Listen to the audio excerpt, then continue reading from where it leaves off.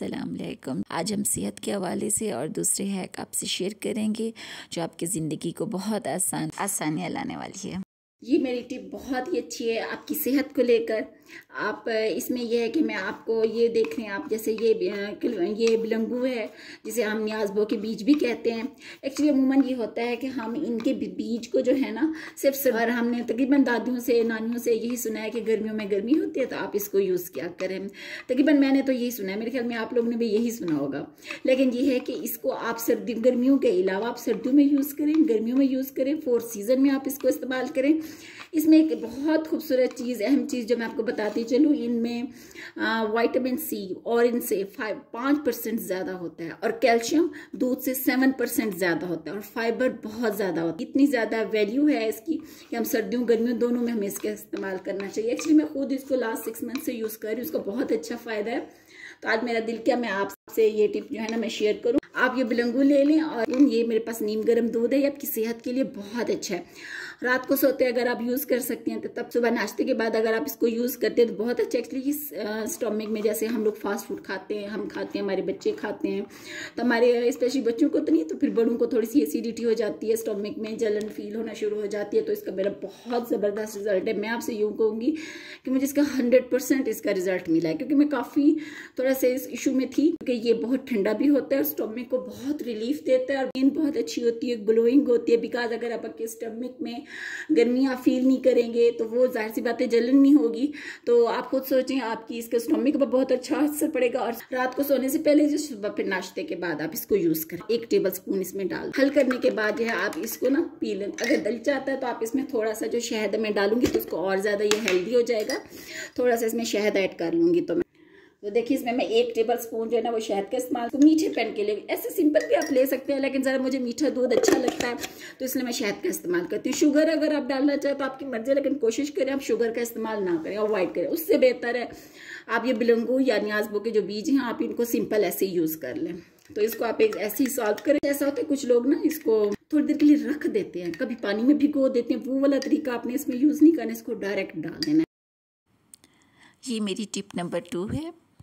बहुत ही अहम हैक जो ना वो शेयर करने वाली हूँ। सुबह सुबह जब हम उठते हैं तो अपना ये कंबल वगैरह या रजाई जो भी होते हैं, सर्दियों में हम इनको लपेट के रखते हैं तो बड़े प्यार से इनको सेट करके रखते हैं। लेकिन उस दोपहर के बाद या थोड़ी देर के बाद जो होता है ना, इनकी सारी सेटें ख़राब हो चुकी होती है। वो इसलिए ख़राब हो चुकी होती है हमारे छोटे छोटे बच्चे होते हैं, वो कंबल के ऊपर चढ़ जाते हैं और उनका हम उनको जितनी दफ़ा भी मना करें ना तो लेकिन ये कि उन्होंने बेड के ऊपर चढ़ नहीं होते। बच्चे ज़ाहिर सी बात है। तो वो चढ़ाते हैं, कभी नंगे पाँव भी होता है तो ये बेड को ख़राब कर देते हैं और वो ड्राई क्लीन जो हमने काफ़ी ऐसे बाद थोड़ा साल के बाद कराना था दो तीन महीने दो महीने बाद उसकी बारी आ जाती है। ऊपर से ब्लैंकेट जो है ना, ये हमारा ख़राब भी हो जाता है, उसके बाद इस हमें काफ़ी स्मेली स्मेली सा फील होता है। तो आज इस मसले का मैं हल लेकर आई हूँ तो आपके पास जो कंबल हो आप लपेट के रखती हैं, ऐसा करें, आप इसको ना, हम आपके पास एक शर्ट होगी ये वाली शर्ट, जो पुरानी सी शर्ट हो, कोई मसला नहीं न्यू शर्ट आप बेशक इसको इस्तेमाल ना करें, ये पुरानी शर्ट है जो मेरे पास पड़ी है इससे हम इस मसले का हल निकालेंगे और बेहतरीन जुगाड़, जिससे आप देखकर खुश हो जाएँगी। ये कम्बल है, आप इसको ऐसा करें, ऐसे फोल्ड कर लें, जैसे मैं फोल्ड कर रही हूँ। यूँ इसको इसको ना ऐसे आप तह लगा लें। ये जैसे मैं ऐसे तह लगा, ये फोल्ड कर लिया, मैंने ये टू लेयर्स भी हो गया, अब आप शर्ट को सीधा करें।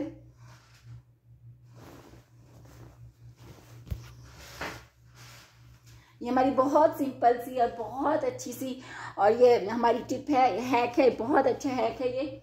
आप इस कंबल को उठाएँ और यहाँ पर ऐसे रख दें। उसके बाद आप इसको इसके अंदर ना फोल्ड करेंगे यहाँ ऐसे। इधर यहाँ से भी आप इसको पकड़े और यहाँ से भी ऐसे आप इसको फोल्ड कर लें। कंबल या जब आप इसको ऐसे करेंगे ना तो उसके बाद आपका कंबल एटलीस्ट मेरे ख्याल में साल के बाद इसकी ड्राई क्लीन का टाइम आएगा, वो जो यूजली होता है, जल्दी नहीं आएगा, क्योंकि बच्चों वाले घर में फिर जल्दी कंबल मैले हो जाते हैं या रजाया मैली हो जाती हैं। तो इसी वजह से कि बच्चे उनके ऊपर बार बार चढ़ाते हैं। अब इसको आप ऐसे भी रख सकती हैं, आपका दिल चाहिए आप आप इसको एक गांठ लगा लें, ज़्यादा प्रॉपर तरीके से। बस सिंपल अब ये देख रहे हैं, हमारा पूरा के पूरा कंबल जो है ना, इस शर्ट के अंदर आ रहा है। और बड़ा ही अच्छे तरीके से सिमट के और कंबल का साइज़ भी छोटा हो गया। और बहुत अच्छे तरीके से ये अंदर आ गया। उम्मीद है मेरी इस टिप को आप ज़रूर ट्राई करेंगे और ज़रूर इससे फ़ायदा उठाएँगे। टिप नंबर थ्री ये मेरे बाजू है, जैसे आप देख रहे हैं, ये इतनी बड़ी खुली बाजू अब ज़ाहिर सी बात है, इसको किचन में पहनकर कभी भी नहीं जाऊँगी। और मैं कहूँगी, नहीं, ये तो मेरे आस्तीन ये वाला सूट तो मैंने इस तरह से कुछ होता है। फॉर एग्ज़ाम्पल इतनी बड़ी नहीं होगी तो इतनी आस्तीन तो होती है नॉर्मल में कुछ सूटों की अक्सर होती है। तो वो उस वजह से हम अवॉइड कर जाते हैं, हम नहीं पहनते। तो इस आस्तीन वाली सूट को भी अब मैं पहन सकती हूँ, क्योंकि मेरे पास इसका बहुत ज़बरदस्त है कि मेरे पास मौजूद है। जैसे बच्चों की पोनियाँ होती हैं हमारे पास। आप देख सकते हैं, ये बच्चों की पोनियाँ होती है, हमारे पास बड़ी होती है, हम इनको यूज़ करेंगे।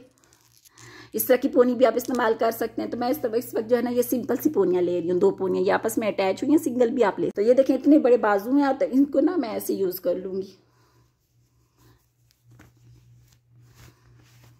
ये आप देख रहे हैं। अब ये जो मेरा बाजू है, ये इसको ना मैं ऐसे दरमियान से बाँध लूँगी।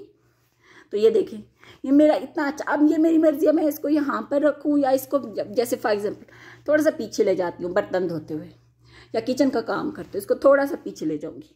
तब ये देखें, ये आराम से फिक्स हो गया और ये बिल्कुल भी ऊपर नीचे नहीं होगा, और आराम से मैं किचन के काम कर सकती हूँ, मैं बर्तन धो सकती हूँ, और ये मेरी आस्तीन जो है ना, यहाँ से बाजू मेरे बिल्कुल भी ड्रेस के ख़राब नहीं होगा, और मैं हर तरह का फ़ैशन वाला सूट पहन के जा सकती हूँ। आप भी ऐसे करें, और इस मसले का हल पर हर तरह का फ़ैशन वाला सूट जो है ना, आप पहने और उनके सारे काम आराम से करें। है ना, मज़ेदार? अपना ढेर सारा ख्याल रखिएगा, मुझे अपनी दुआओं में याद रखिएगा। फिर मिलते हैं एक नई वीडियो के साथ।